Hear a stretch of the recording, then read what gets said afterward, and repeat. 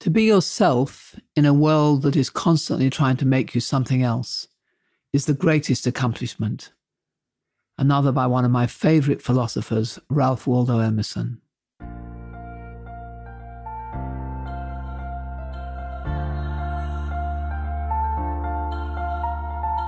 This is Walking Your Talk, a podcast about leadership, authenticity, and courage. I'm Carolyn Taylor. Over my career, I've worked with well over 100,000 leaders in every kind of organization. People who are committed to closing the gap between their own values and those of their organization and how they show up every day. I wrote a book called Walking the Talk on how you change corporate culture. But this is much more personal.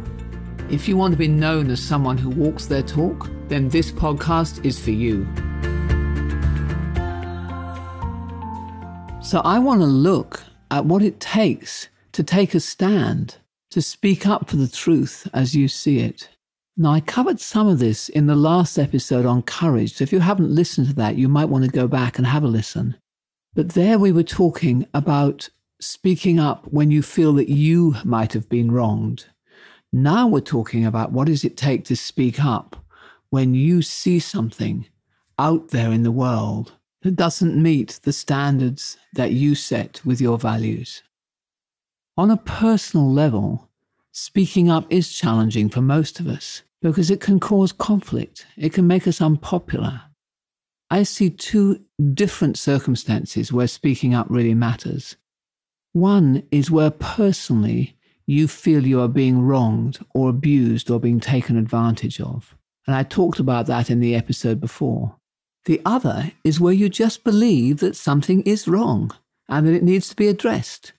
And so then I think you're speaking on behalf of others, maybe on behalf of customers or on behalf of some employees or other people who you feel are being mistreated, or perhaps on behalf of the environment.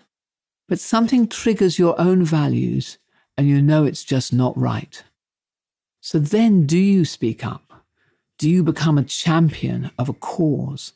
And I don't mean complaining to your friends and, you know, just having a gossip about how something just isn't right, but actually taking a stand and doing something about it. Because it's then that you're seen to be really authentic and to make that difference and to act on your values. As I'm recording this episode, I've recently been watching the young Scandinavian girl, 16 years old she is, Greta Thunberg, and just been inspired by her willingness to take a stand for the planet and for the future of her generation and their ability to live on it. And she's started a movement. She's got top government officials listening to her. What courage, what a clear set of values. So, what does that take? What would it take for you to start your own movement on whatever it is that you feel you want to stand for, the legacy that you want to leave in your work? Firstly, you need to hold that value strongly enough to be willing to be unpopular, to put things at risk, to be disliked by your boss or your colleagues. As you know, if you've listened to other episodes, I have a strong value of learning and I am prepared to be unpopular on that. I'm prepared to keep going back and to be seen by other people about being too negative and not just being excited about what we did well, because I do always want to find out how we could have done it better and what did we do badly. And even if people get defensive about that, I will keep going. Because when I don't do it, I feel bad inside. I know that I've walked away from something that I think is really important. And I'm not building a culture that stands for that.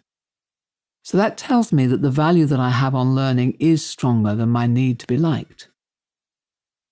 You know, I've often wondered what it is that sustains Jehovah's Witnesses when they go door to door continually and get so often and continually rejected.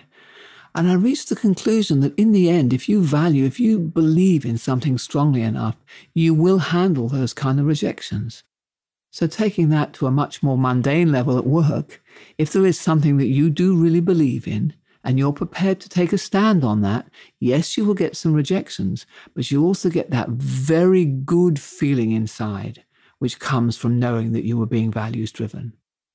And what I mean by that warm feeling inside is have you ever found a wallet in a street and picked it up and rifled through the cars and realized that there was an address there? So you were able to hand it in to the police or ring somebody up because you found their business card. And how grateful the person is, of course. But you know, that kind of, there's a sort of warm, oh, I'm quite a good person feeling.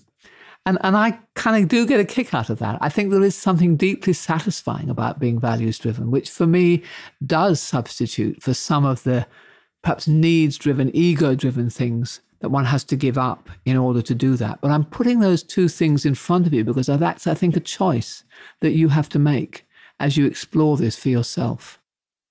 So the stronger the value is, the easier it becomes because it becomes bigger than your own ego. It becomes bigger than your need to be safe or to be liked or to be secure or to have the right amount of money. And so we've come full circle. The more values driven you are, the more authentic and more credible and more able to make a difference. And the more you do that, the better that starts to feel, and the more it becomes more important than the other ego needs. And that is the personal development journey that this series on values has been intended to explore. So, the exercise I'd like to do to conclude this series really has to be what are those values for you? And why do they matter to you? What can they deliver to other people, to your company, your community, your customer, your family? And do you care enough to put aside some of those personal needs, to sacrifice some short term profit or some social acceptability? And how can you take steps to test that and to see if you can emerge with a new set of profitability, a new set of social relationships, which are based around those values? And then finally, what is a stand you can take and how would you do that? And if you do find that position, where you can take a stand and contribute to that change, then make sure you broadcast it as well. Why did you take that stand? Why the sacrifice? Because that education is a part of the role of the leader. So I wish you really well in this values adventure, this values journey. Thank you very much, and I'll see you next week.